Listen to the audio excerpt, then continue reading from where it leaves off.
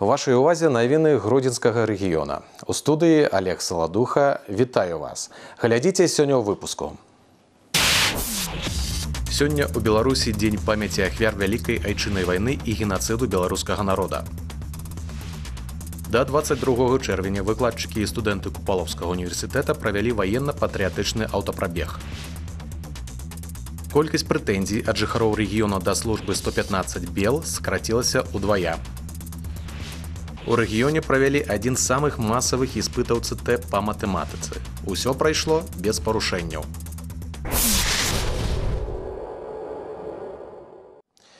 Сёння ў нашай краіне дзень памяці ахвяр вялікай айчыннай вайны і генацыду беларускага народа. Менавіта 22 чэрвеня узгадваюцца трагічныя падзеі 41 года, калі ў 4 гадзіны раніцай гітлераўскія захопнікі без папярэджання напалі на савецкі саюз. Першымі удар ворага прынялі пагранічнікі. У тым ліку заставы, якія знаходзіліся на тэрыторыі Гродзеншчыны. Самая крывавая вайна ў гісторыі беларускага народа доўжылася 1418 дзён. За гэты перыяд на франтах вялікай айчыны змагаліся з акупантамі звыш мільёна 300 тысяч беларусаў і ўраджэнцаў рэспублікі. У жудаснай вайне Беларусь страціла кожнага трэцяга свайго жыхара. Імёны многіх нашых суайчыннікаў назаўжды ўпісаны ў гісторыю. Подзвіг гэтых герояў захоўвае сённяшняе пакаленне, дзякуя сваім дзедам і прадзедам, якія не саступілі агрэсарам, вярнулі мір і спакой народную зямлю. Памяць ахвяр вялікай чынай вайны ўшанавалі прадстаўнікі гродзенскага дзяржаўнага універсітэта імя янкі купалы. 22 чэрвеня выкладчыкі і студэнты галоўнай ВНУ рэгіёна арганізавалі маштабны ваенна-патрыятычны аўтапрабег. Памятны маршрут быў пракладзены праз некалькі вёсак гродзенскага і мастоўскага раёна, якія пацярпелі ад нямецка-фашысцкіх карнікаў і падзялілі сумны лёс усім вядомай хатыні. А фінішавала адмысловая акцыя купалаўцаў у яшчэ адным знакавым месцы прынёмання каля мемарыяльнага комплекса курган славы ў гродні. Владимир Лобан раскажа. Старт жалобных мерапрыемстваў быў дадзены на плошчы універсітэцкага флага, дзе адбыўся мітынг памяці. Прысутныя асабліва падкрэслілі сённяшняму жыццю ў мірнай спакойнай краіне беларусы абавязаны тым, хто ў сакавыя гады мінулага стагоддзя перамог фашыстаў і вызваліў чалавецтва ад карычневай чумы. Роўна ў 12 гадзін дня купалаўцы далучыліся да глыбока сімвалічнай акцыі рэспубліканскай хвіліны маўчання, якая адначасова прайшла ва ўсіх рэгіёнах Беларусі.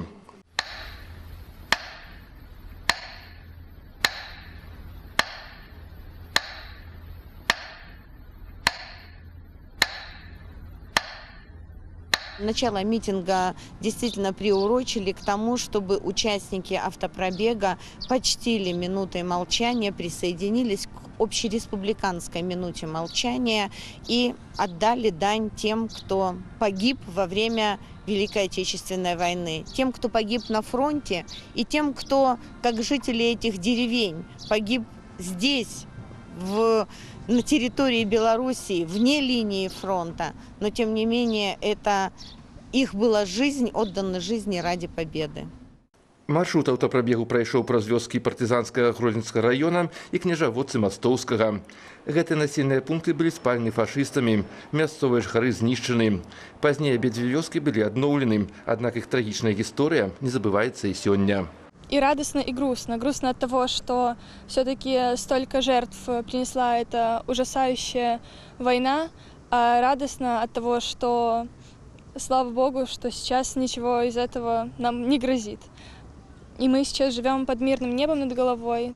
Долг нашего народа – это помнить, чтить и гордиться, быть благодарным за мирное небо над нашей головой и за мирное небо над нашей Родиной, беречь это все и передавать из поколения в поколение. Только тогда эта память будет жить в наших сердцах вечно. Завяршальным прыпынкам аўтамабільнага прабегу стала святое для ўсіх гродніцаў і жыхароў рэгіёна месца. Курган славы ў абласным цэнтры. Да падножа помніка леглі вянкі і чырвоныя гваздзікі ад купалаўцаў, знак пашаны ваеннаму пакаленню. Забывать мы, наверное, не имеем права лишь по той причине, что нет, наверное, сегодня ни одной семьи в стране, в нашем, на нашем огромном постсоветском пространстве, да и у нас в Беларуси, которых бы не задела эта война. Так или прямо или косвенно и так далее. Если каждый посмотрит на свою родословную, посмотрит на э, своих э, предков, прадедов, э, дедов, которые попали в горнило этой войны, мы, наверное, почувствуем, поймем, насколько для нас это важное событие, которое мы должны помнить. Оно важно и с точки зрения сохранения нашего национального генофонда, потому что действительно тогда стояла задача уничтожить этот генофонд. Фактически э, население Беларуси максимально должно было быть уничтожено в концлагерях, в деревнях сожженных. Но и сегодня те факты, которые дополнительно становятся достоянием общественности по расследованию тех злодеяний, фашистских злодеяний на территории Беларуси, которые ведет Генеральная прокуратура, они говорят о том, что масштабы и э, вот тех жертв, масштабы э, геноцида были гораздо выше, чем мы э, обычно э, описывали в учебниках истории. И это важно с точки зрения э, сохранить все, важно передать подрастающим поколениям. Молодежь, если она э, будет трудиться во благо своей страны, во благо своего народа, во благо э, независимости, во благо э, развития нашей страны. Наверное, э, в этом заключается смысл жизни вот, патриотично настроенного народа, который пережил ту страшную войну. Я думаю, что сегодняшний день он показателен для всех и каждого, особенно на наших территориях, потому что, к сожалению, в мире есть много стран и много политиков, которые бы хотели забыть эти события. Более того, они просто хотели бы забыть, они хотели бы историю переписать в угоду своих политических амбиций и своих каких-то политических интересов. И вот этого мы допустить не можем, потому что болью сердца у нас отдается каждый колокол хатыни, каждый, каждый мемориал, каждая могила, э, каждая могила неизвестного солдата. И пока не вписаны имена э, всех погибших в той войне, для нас эта война не закончена. Летась выкладчыкі студэнты купалаўскага універсітэта правялі першую такую вандроўку па памятных ваенных мясцінах рэгіёна. Сёлета патрыятычнае падарожжа знайшло працяг. Па словах арганізатараў мерапрыемства стане пастаянным. Кожны год 22 чэрвеня ўзгадваць падзеі вялікай айчыннай у ВНУ будуць падобнымі выязнымі акцыямі ў мясцінах баявой славы. Республика Спадчына. Так называется лагерь, які адкрыўся на базе Гродзенскай школы нумар 8. Штогод педагогі рыхтуюць адмысловую праграму адпачынку для дзяцей. Так, гэтым летам да года гістарычнай памяці, якім у Беларусі абвешчаны 2022, у лагеры арганізавалі атрад гісторыкі. Яго наведвальнікі маюць магчымасць больш даведацца аб нашай краіне, традыцыях, культуры і не толькі. Што важна, у гэтым лагеры дзеці не толькі слухаюць, яны актыўныя ўдзельнікі ўсіх навучальных працэсаў. Так, да дня ўсенароднай памяці ахвяр вялікай айчыннай вайны і генацыду беларускага народа юныя гісторыкі падрыхтавалі прэзентацыю. Кацярына Старшавая падрабязней. Ребята, нам срочно нужно закончить задание четвертого уровня. Создай презентацию в программе PowerPoint на тему Великая Отечественная война в истории Гродно. За работу! В начале смены мы получили билеты в виртуальный мир компьютерной игры, но выйти из нее и получить суперприз получится только у тех, кто сможет пройти игру до конца и выполнить задачи каждого уровня. Для этого мы заполняем чек-лист, в котором каждый отмечает выполненное задание. Кожны дзень у лагеры прысвечаны новай тэме. Гэта прынцыповая пазіцыя педагогаў і залог пазнавальнага адпачынку школьнікаў. Да дня ўсенароднай памяці ахвяр вялікай айчыннай вайны і генацыду беларускага народа дзеці разам з педагогамі падрыхтавалі прэзентацыю пад назвай дзённік памяці.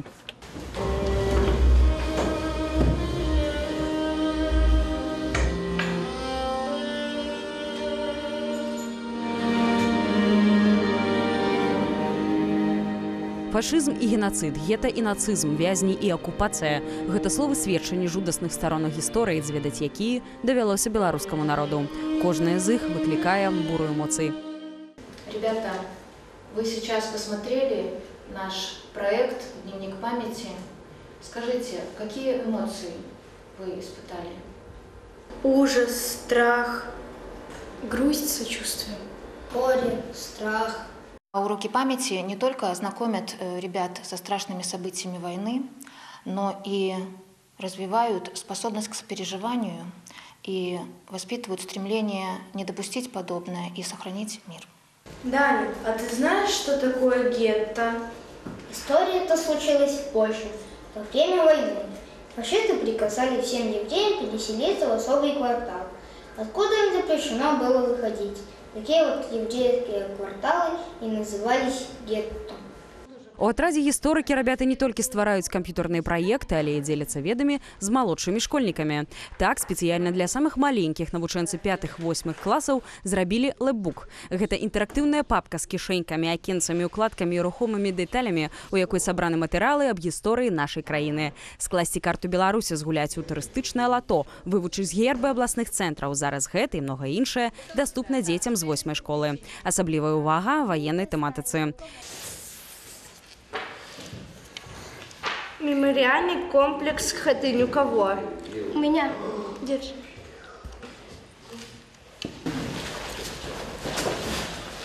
Нас заинтересовала идея создать лэбук. Мы не только вырезали и наклеивали, но придумывали различные задания и игры, посвященные Беларуси. Например, в игре «Лото» множество памятников, посвященных военной истории Беларуси. Название историки не случайно, ведь это э, Гродно, IT и история, то есть новое для нас направление информационных технологий. Э, ежедневно ребята получают задания, э, в которых посредством информационных технологий изучают историю и культуру города. Не случайным является тот факт, что э, в отряде работают учителя истории и информатики, а также э, наше сотрудничество с областным центром технического творчества, где ребята выполняют часть заданий информационного профиля. Летні адпачынак толькі стартаваў наперадзе яшчэ два поўныя месяцы вольная ад урокаў і хатніх заданняў. Лагер, які адкрыўся на базе восьмай школы, працягвае функцыянаваць. Дзяцей чакае яшчэ шмат цікавых заняткаў і акцый. Як падзяліліся гісторыкі, зараз яны працуюць над новым праектам. Гэта будуць відээкскурсіі па родным горадзе. Колькасць прэтэнзій ад жыхароў рэгіёна да службы 115 бел скарацілася ўдвая. Паведамілі ў камітэце дзяржкантролю гродзенскай вобласці. Са студзеня па май бягучага года на сервіс звязаны з вырашэннем праблем грамадзян у сферы жывілёва-камунальнай гаспадаркі паступіла 64 скаргі. Такія факты ў шэрагу іншых былі агучаны падчас калегій, прысвечанай вынікам кантрольных мерапрыемстваў за выкананнем даручэнняў кіраўніка дзяржавы ў сферы ЖКХ. На заседании коллегии комитета сегодня рассматривается вопрос выполнения в области поручений главы государства в сфере жилищно-коммунального хозяйства. Ряд поручений дан 5 апреля текущего года в ходе совещания по актуальным вопросам функционирования жилищно-коммунального хозяйства. При этом отдельные из них требуют принятия дополнительных мер по реализации. Так, райисполкомам поручено закрепить за организациями территорий населенных пунктов для, благоустройства, озеленения и текущего содержания. К сожалению, в области уровень озелененности территорий не достиг требуемых э, 40% в 11 городах области, в том числе и в городе Гродно. В отдельных случаях не обеспечивается комплексный подход э, к организации и планированию работ по посадкам зеленых насаждений. Имеют место несоблюдение технологии и отсутствие должного ухода за деревьями. Такие факты выявлены комитетом в городе Лида. На постоянном контроле находятся поручения главы государства по рассмотрению обращений граждан, соблюдению сроков и э, надлежащего качества выполнения заявок, поступивших на телефон службы 115. Несмотря на снижение количества заявок и претензий, выполненных с нарушением срока, их количество по-прежнему остается значительным, почти 6% от поступивших.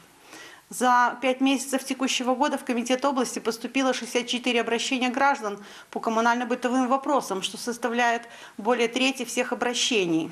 В ходе проведения проверок а, нами выявляются нарушения бюджетного и налогового законодательства, нарушения в сфере обращения с твердыми коммунальными отходами и вторичными материальными ресурсами. Например, по выявленным нарушениям порядка учета образования, хранения и захоронения отходов и направленным рекомендациям девятью организациями ЖКХ в бюджет перечислен экологический налог в общей сумме более 200 тысяч рублей. Як паказаў аналіз зваротаў нездаволеных жыхароў гродзенскай вобласці у рабоце ЖКГ выклікае няпоўны разгляд агучаных прэтэнзій і праблем невыканання абавязкаў па ўтрымання прыдамавых тэрыторый і ўборцы месцаў агульнага карыстання У асобных выпадках пытанне ўзнікае да парадку налічэння платы за камунальныя паслугі. Акрамя нездавальнення грамадзян, аўдыт эфектыўнасці работы арганізацыі ЖКГ праведзены дзяржкантролем, выявіў парушэнне бюджэтнага і падатковага заканадаўства у сферы абыходжання з цвёрдымі камунальнымі адходамі і другаснымі ресурсамі і іншыя. Не налажена должным образом работа по планированию проведения капитальных ремонтов жилых домов. Имеют место факты несвоевременной и некачественной разработки проектно-сметной документации, затягивания срока выполнения работ, образование сверхнормативных объектов капремонта жилья. Например, на 1 июня по области их 6, в том числе в городе Гродно 4 сверхнормативных э, объекта. По-прежнему допускаются завышение объемов и стоимости выполненных работ на объектах капремонта жилья. По результатам проведенных Комитетом госконтроля в 2021 году, в январе-мае 2022 года контрольных мероприятий в организациях ЖКХ взыскано в бюджет, сокращено финансирование на сумму более 2 миллионов рублей. Сэкономлено полтора миллиона бюджетных средств. Як было падсумавана, праведзеныя кантрольныя мерапрыемствы арганізацыі ЖКГ Гродзеншчыны за мінулы год і пачатак бягучага дазволілі вярнуць бюджэт больш за 2 мільёны рублёў. Акрамя таго, зэканоміць паўтары мільёны бюджэтных сродкаў. Па выніках пасяджэння яго ўдзельнікамі ўнесены прапановы па паляпшэнню стану спраў у сферы ЖКГ вобласці. Іх рэалізацыя ўзята на кантроль. Па справе групы Мікалая Туховіча пачаўся допыт пацярпеўшых. Да гэтага завяршыўся допыт абвінавачаных.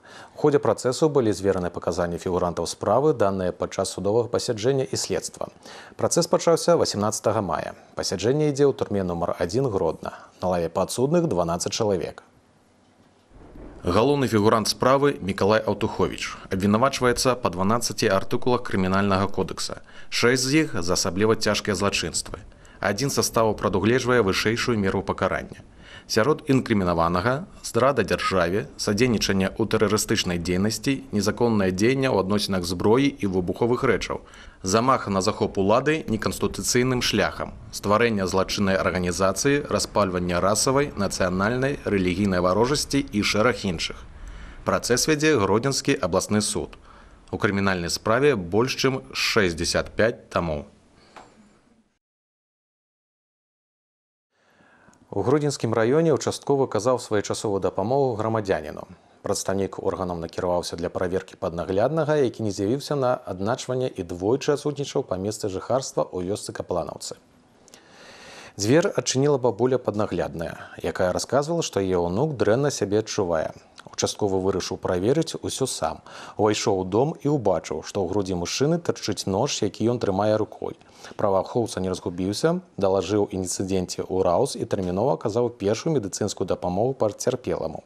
Высветлілася, што грамадзянін перажываў за дапушчанне парушэнняў падчас так званай хатняй хіміі. Ён думаў, што можа накіравацца ў месцы пазбалення волі, таму і вырашыў налажыць на сябе рукі.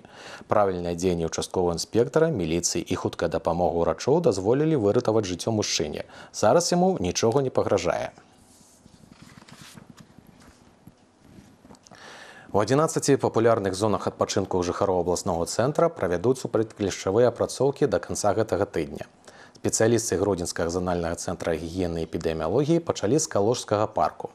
22 чэрвеня былі апрацаваны абочыны пешаходныя і веладарожкі, спортпляцоўкі і іншыя месцы арганізаванага адпачынку ва ўрочышчы пышкі.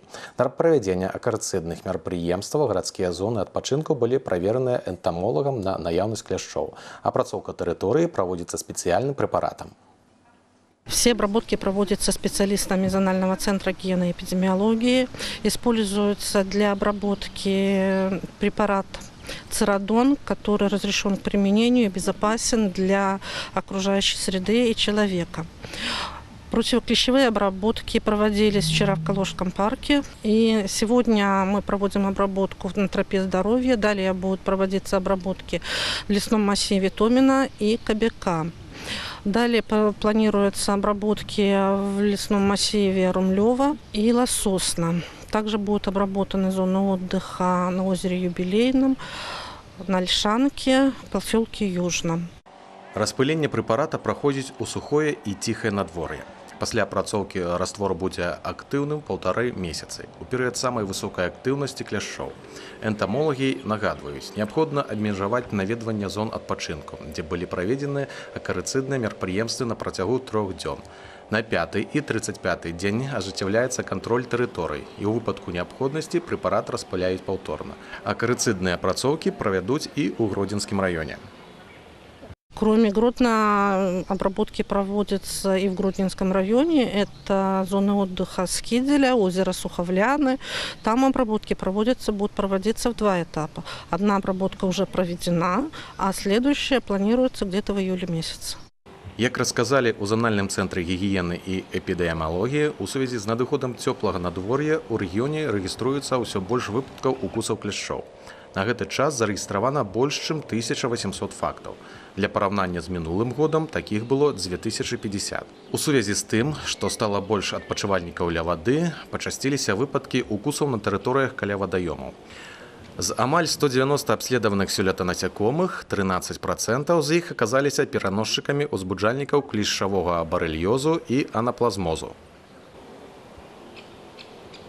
Для ўдзелу ў ЦТ па матэматыцы другого дня зарэгістравалася 717 абітурыентаў Гродзеншчыны. Выпрабаванні праходзілі ў пяці карпусах, у якіх была задзейнічана 31 аўдыторыя.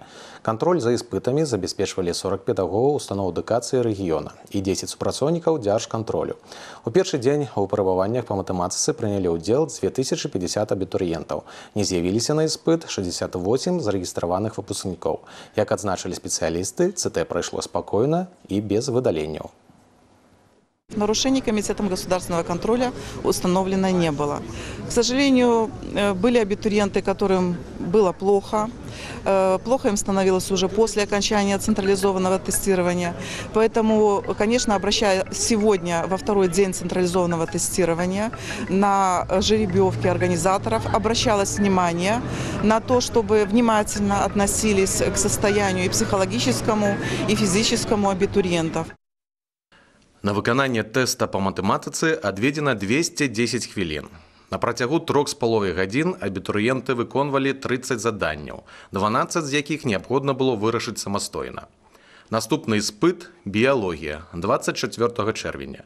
Як звяртаюць увагу спецыялісты, у рэгіёне па-ранейшаму рэгіструюцца выпадкі спазненняў. Трэба памятаць, пачатак усіх іспытаў у 11:00. З'явіцца на цэнтралізаванае тэсціраванне трэба мінімум за паўгадзіны. Пры сабе мець зарэгістраваны пропуск, дакумент, які пацвярджае асобу, гэта пашпарт, ID-карта, віднага жыхарства ў Беларусі, пасведчанне бежанца або зарэгістраваная ўстаноўленым чынам даведка, якая выдаецца ў выпадку страты дакумента, што пацвярджае асобу. Ручку, гелевую або капілярную з чарніламі чорнага колеру.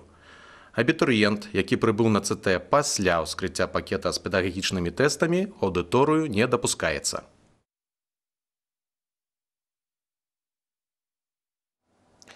На гэтым наш выпуск завершаны. Усяго добрага.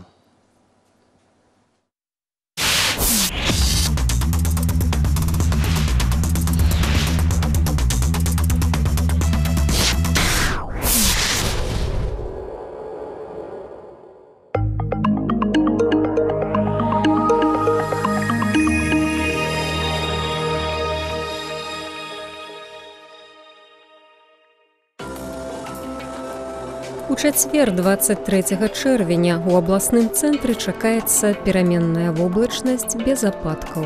Раніцай слупок тэрмометра пакажа каля 17 градусаў цяпла. Днём да плюс 22, а вечарам да плюс 18 градусаў. Вецер паўночны 1-2 метры на секунду. Атмасферны ціск 752 міліметры ртутнага слупка. Вільготнасць паветра каля 68% раніцай, 52% днём і 72 вечарам. З улікам усіх метэаралагічных дадзеных адчуваемая тэмпература паветра на працягу дня будзе вагацца ад 17 до 22 градусаў цяпла.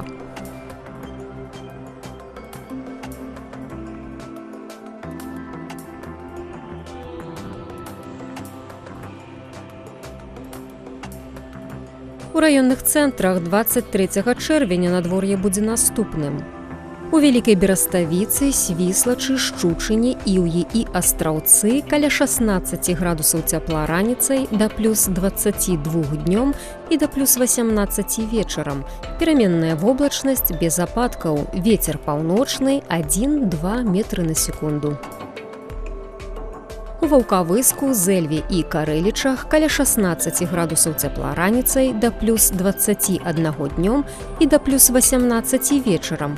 Пераменная воблачнасць магчымы невялікі дождж. Вецер паўночны 1-2 метры на секунду. Слонямі і дзятлаве каля 17 градусаў цяпла раніцай і вечарам і да плюс 21 днём. Пераменная воблачнасць магчымы невялікі дождж. Вецер паўночны 1-2 метры на секунду.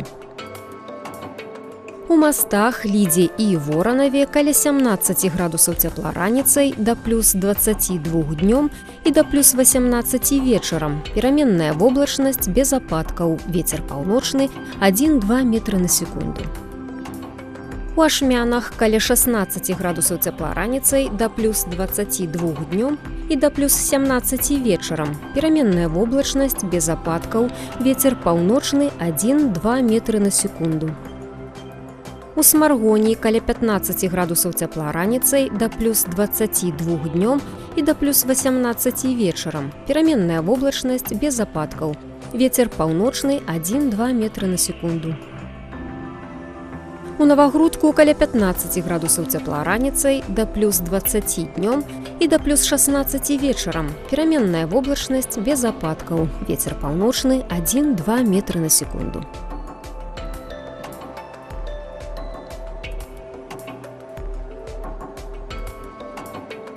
Згодна з гісторыяй метэаназіранняў, мінімальная тэмпература паветра, якая была зафіксавана ў грудні 23 чэрвеня 1,5 градусаў са знакам плюс. Здарылася гэта ў 1983 годзе. Максімальная тэмпература паветра, зазначаная 23 чэрвеня ў грудні 30 градусаў цяпла.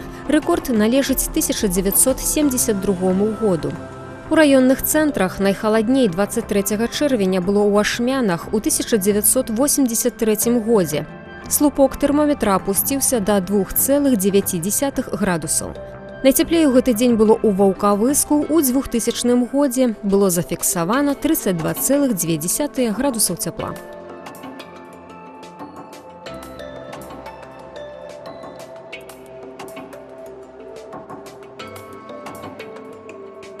Геамагнітная сітуацыя ў чацвер 23 чэрвеня будзе даволі спрыяльнай. Сонечная актыўнасць не перавысіць узроўню невялікіх геамагнітных хваляванняў.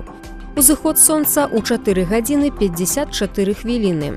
Захад у 2159. Светлавы дзень у параўнанні з серадой не зменіцца і складзе 17 гадзін 4 хвіліны.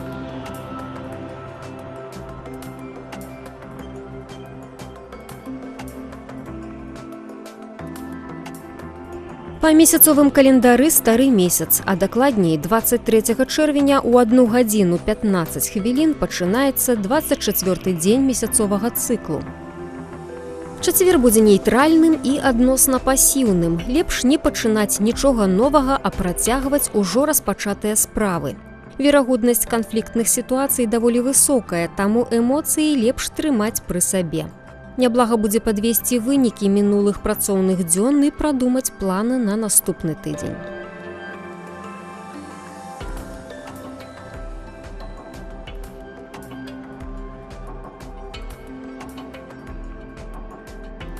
У чацвер 23 чэрвеня беларусы праваслаўнага веравызнання святкуюць дзявятнік. Рухомы дзень, які адзначаўся ў чацвер 9 тыдня пасля вялікадня. У некаторых мясцовасцях беларусі на дзевятнік стараліся не працаваць у полі інакш лічылася што град паб'е ўраджай. У каталікоў ян або інакш купаллі. Гэта старажытнае свята сонца і каханне якое як і многія іншыя паганскія святы было прыстасавана да хрысціянскага календара.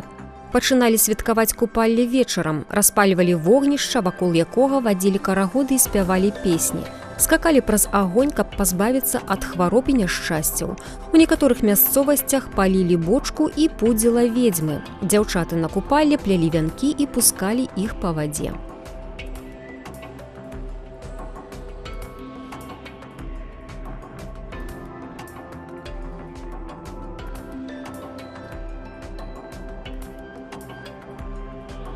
Па праваслаўным календары 23 чэрвеня імяніны ў Александра, Алексея, Антаніны, Васіля, Івана і Тимофея.